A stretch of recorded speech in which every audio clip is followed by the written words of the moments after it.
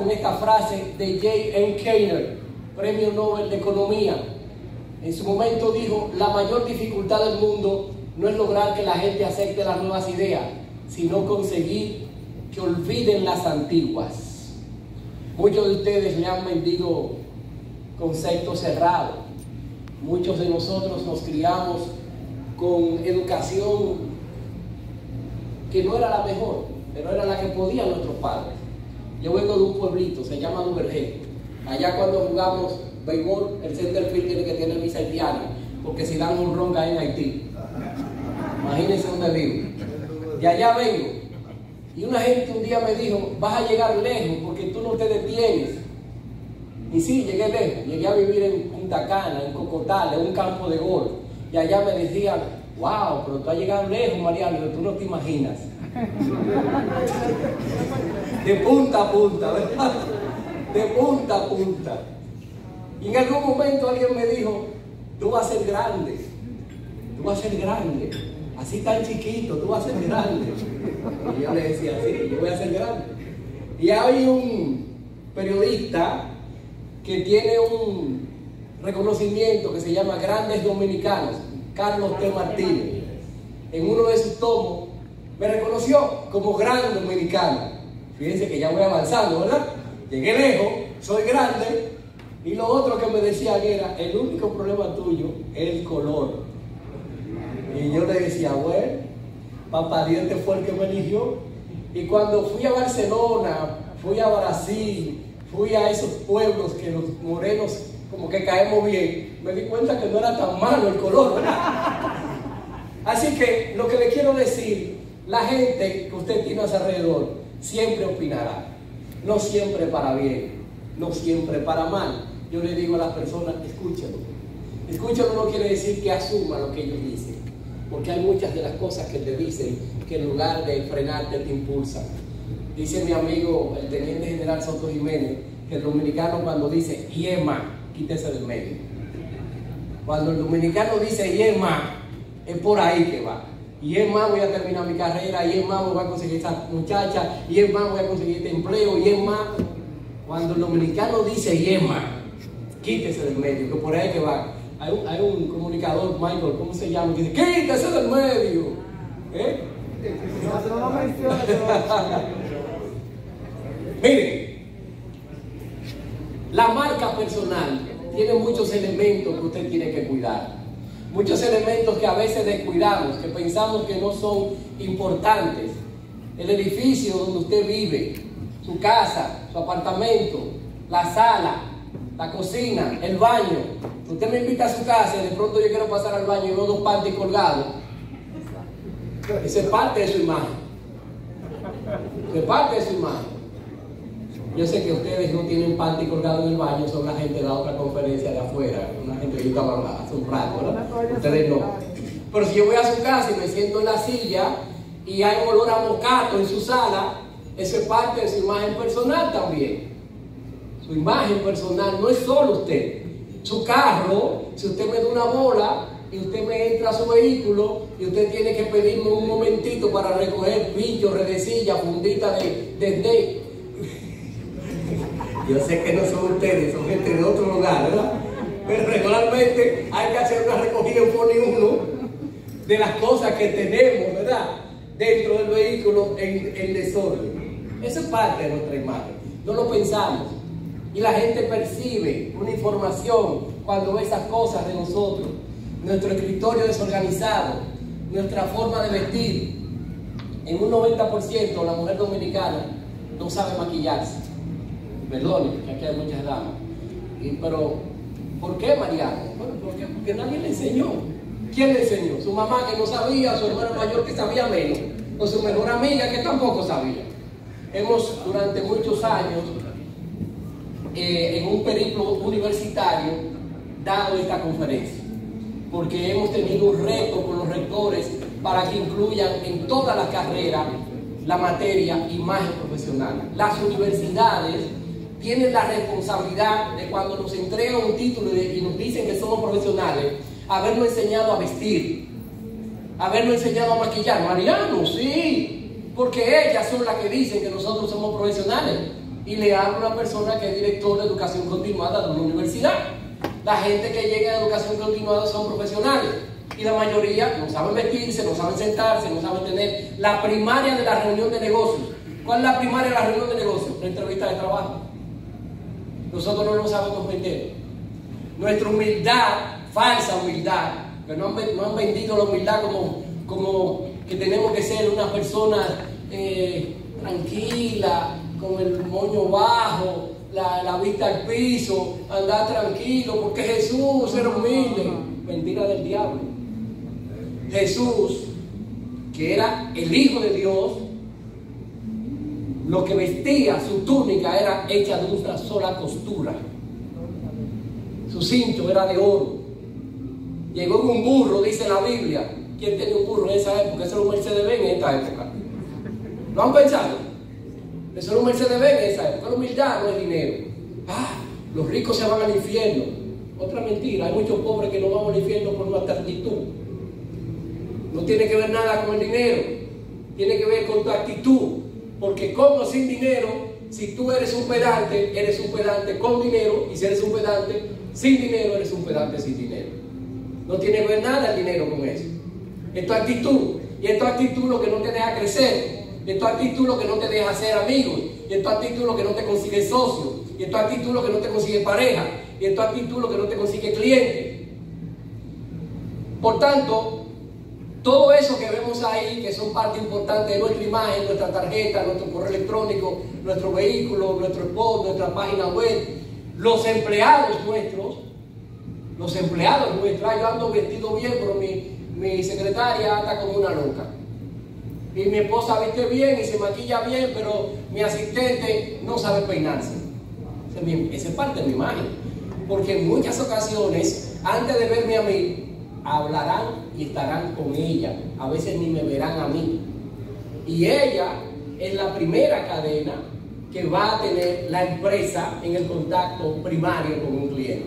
Y a ella tenemos que entrenarla. La mayoría de las empresas no entrenamos a la recepcionista, no entrenamos a la secretaria. De hecho, la mayoría le pagamos menos que a todas. La recepcionista las secretarias son las que menos dinero ganan en las empresas. Y son el contacto primario con nuestros clientes. Entonces, eso es parte de lo que la gente ve de ti. ¿Qué ve la gente de ti cuando por primera vez hace contacto contigo? Muchos de ustedes es probable que hoy sea la primera vez que me vean, o que me conozcan, o que estén conmigo. Mi reputación es parte de lo que voy a decir aquí. Cuando yo salga por ahí, usted también, lo que usted cuente de mí cuando llegue a su casa o a su trabajo, será parte de mi reputación.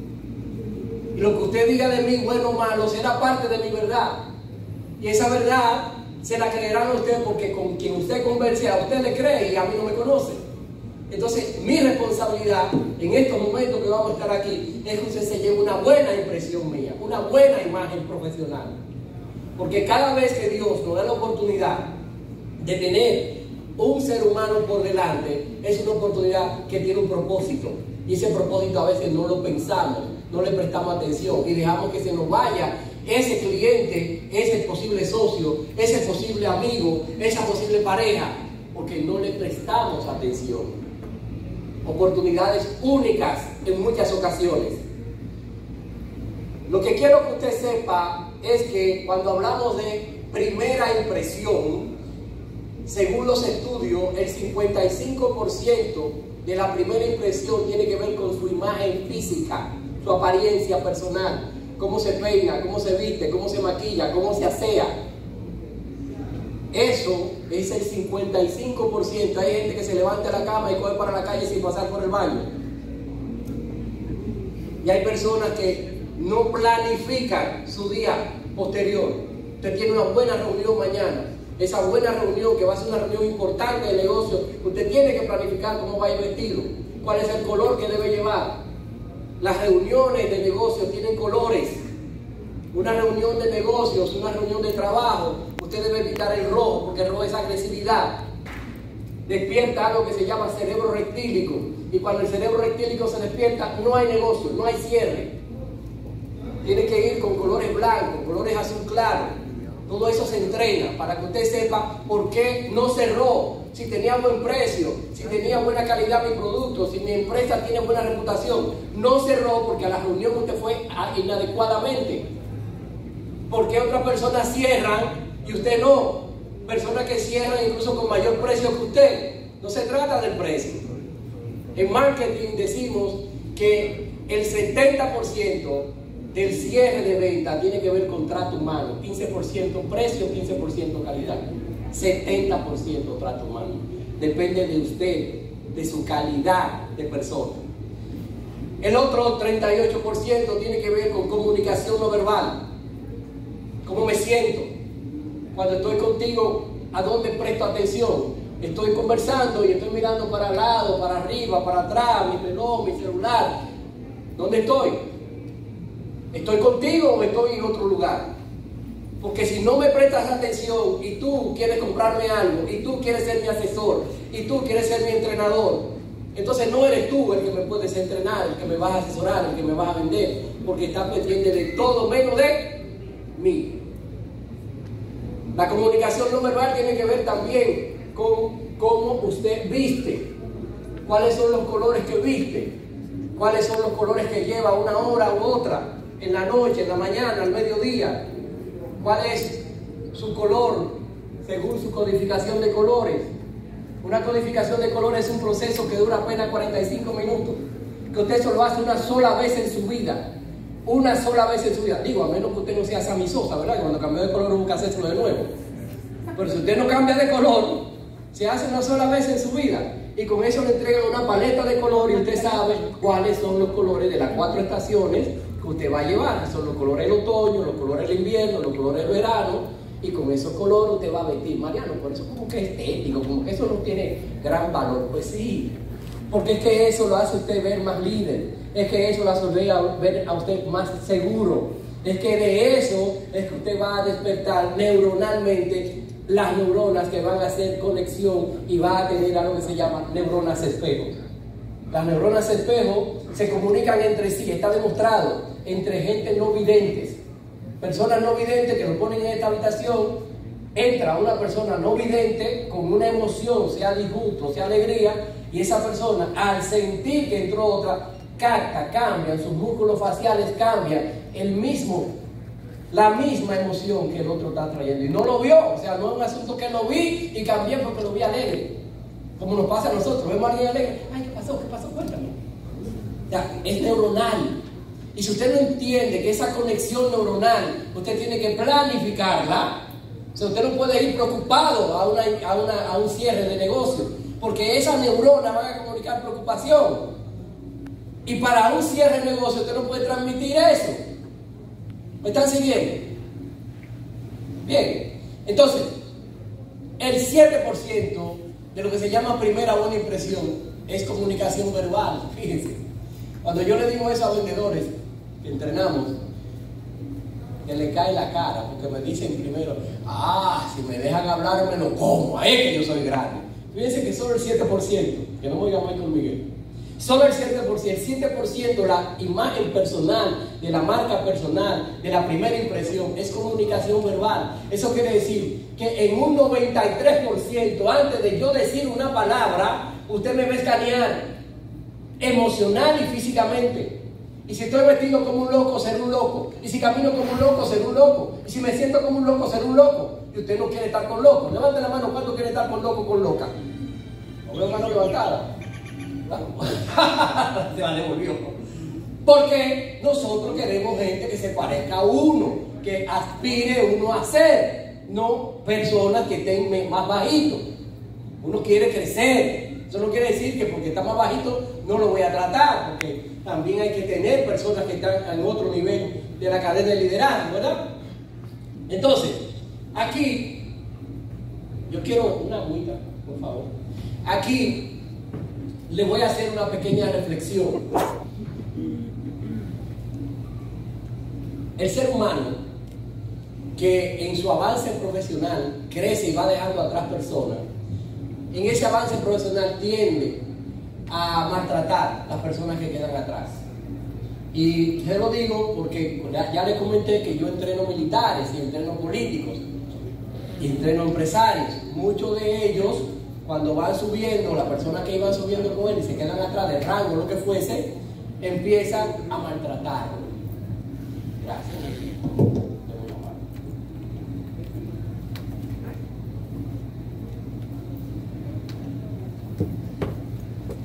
¿Y qué es lo que pasa con el avance del liderazgo? Bueno, que el líder en ocasiones se cae y es normal. El líder se deprime y es normal. Ah, Mariano, ¿y usted se deprime? Yo soy un ser humano. Pero usted es super coach, Mariano Abreu, yo soy. Y cuando me deprimo me arropo, me quedo en pantaloncillo el día entero en la casa y pongo Netflix. Y salgo al día siguiente sin depresión Cualquier cosa usted le puede deprimir, cualquier cosa usted puede sentir que hoy no va para la calle. Usted cualquier día puede sentirse mal. Es de ser humano. Lo que es de líder es levantarse de eso. Es salir con el pecho al aire y enfrentar de nuevo los retos. Eso es de líder. Eso no lo hace cualquiera. Los cualquiera se quedan en la depresión. Se quedan en el piso. Se encierran y no salen más. Los líderes se levantan como el ave fénix. Entonces, eso que vemos aquí, que se llama marca personal, es la capacidad que tiene usted como persona, que lo trae instalado, que se lo instaló Papá Dios desde su eh, concepción, para que usted se diferencie de los demás, para que usted se eleve por encima de los demás. No se eleve como un pedante para humillar, se eleve para hacer bendición, para en su capa incluso usted ayudar a otros a que asciendan a los niveles que usted puede ayudar a ascender. Para que como puente usted pueda también ayudar a que la gente cruce hacia los niveles que ya usted cruzó y pueda ayudar a que otros también crucen. Cuando hablamos de una marca personal, no hablamos de una persona que por ser o estar en una posición ofende, ofende, o por estar en una posición maltrata, o por estar en una posición ignora a los que lo ayudaron a lograr y alcanzar esa posición. Por eso muchos políticos se caen. Se caen porque en ocasiones utilizan como rebaño a las personas y una vez llegan a las posiciones se olvidan de esas personas. Ojalá aquí no haya políticos así. Pero si lo hay, le tengo noticia. Eso dura menos que una cucaracha y un gallinero. Porque cuando se da cuenta la gente, y la gente no es tonta, la gente busca otro líder. Sea usted empresario, sea usted político o militar, una marca personal es cercana. Una marca personal es aquella que se atreve a decirle a una persona, siempre estaré pendiente a ti y cumplirlo, no solo en campaña. Siempre podrás tocar mi puerta y oiga lo que le voy a decir. Una marca personal es alguien que se valora. Uno no vale lo que merece, uno vale lo que negocia. Veo muchas personas que llegan a mi oficina, a su consulta, quejándose. Mi esposo no me valoró, mi jefe no me valoró, mis amigos no me valoraron, mi familia no me valora. Y yo le pregunto, ¿y usted se valoró? Es usted el que tiene que darse valor. ¿Cómo estás negociando tu marca personal? ¿Cómo estás haciendo tu entrega? Aunque lo hagas gratis, lo que hagas gratis, tiene que hacerle ver a esa persona que eso tiene un costo. Que eso tiene un costo porque es tu tiempo, es tu, intelecto. Son tus emociones que estás poniendo. ¿Cómo estás negociando tu valor? ¿Cómo estás negociando esa cercanía, ese apoyo? Uno no vale lo que merece, uno vale lo que negocia. Apréndanse eso, porque eso es parte del avance de una marca personal. Usted no me puede poner mi precio, yo sé cuánto valgo y no hay un precio que usted lo pueda pagar. Prefiero entregárselo regalado cuando usted no lo puede pagar. Pero yo quiero que usted sepa que le estoy regalando. Yo quiero que usted sepa cuánto le estoy dando. Una de las cosas que tenemos en las marcas personales es que no nos atrevemos a encontrar nuestras imperfecciones. Es que no nos atrevemos a pararnos frente a un espejo y a decirle a esa persona que vemos al espejo, hasta hoy me está frenando. Tu actitud me ha detenido. Tu vagancia me ha detenido. Tu incoherencia me ha detenido. Hasta hoy. Y hoy voy a empezar a cambiar porque necesito estar más bonita, necesito maquillarme mejor, necesito vestirme mejor, necesito terminar mi carrera, necesito, necesito. Y emprendo acción. Lo más difícil, lo más difícil que puede hacer una persona es trabajarse a sí mismo. A nosotros nos encanta buscarle imperfecciones a los demás. Y hay algo que se llama virar el espejo. Y yo le digo a ese señor, mire, esa, ese polo no le queda bien. El blanco, un blanco hueso, a usted le caería mejor el blanco más claro. Y él me dice, sí, pero esa corbata roja a usted tampoco le queda bien. Mirar el espejo. Así somos. Si alguien no quiere dar una retroalimentación, lo que hago es que le viro el espejo. Digo, no, pero usted también. Usted no se da cuenta, usted también mete el ojo. Yo le digo, no es que acepte lo que le dicen, pero escúchenlo, valórenlo, sedáselo, consúltelo con su conciencia. Y si tiene sentido, si se lo han dicho más de una vez, empieza a corregirlo. Porque el regalo más precioso que le puede hacer una persona es esa consultoría gratuita que se llama consejo. Atiende al consejo y terminará siendo sabio. Proverbios. Eso quiere decir que para hacer una marca personal tienes que prometer que cuando la gente te vea diga, esa persona, yo estuve con él, es una persona así, así, y se atrevan a referirte, se atrevan a llegar a ti por referencia. Nosotros tenemos varios programas de televisión, uno en la noche se llama Enfrentados, en el Nuevo Diario, en varios canales de televisión, en Claro, en el 66 y en el 60, de 10 a 12 de la noche todos los días. Los sábados, imagen pública televisión, 13 años en el aire. Muchas de las personas que llegan a nosotros, y he sido consultor del show mediodía de su imagen durante muchos años, y estoy en Radio Realidad con Iván Ruiz también, pero la gente en su mayoría no llega a mí porque me ven televisión. En un 80% llega a mí por referencia porque alguien fue donde mí, se trabajó conmigo y esa persona le dijo, mira, ¿qué tú estás haciendo? Que te veo diferente, ¿qué estás haciendo? Que te veo más, más enfocado, ¿qué estás haciendo? Que te veo más bonita, tú estás enamorada. Entonces empiezan a contar su historia, qué pasó desde que llegaron a la imagen pública, con cambios estéticos, con cambios de pensamiento, con lectura. Un cliente mío tiene que leerse un libro cada 10 días, cada 10 días.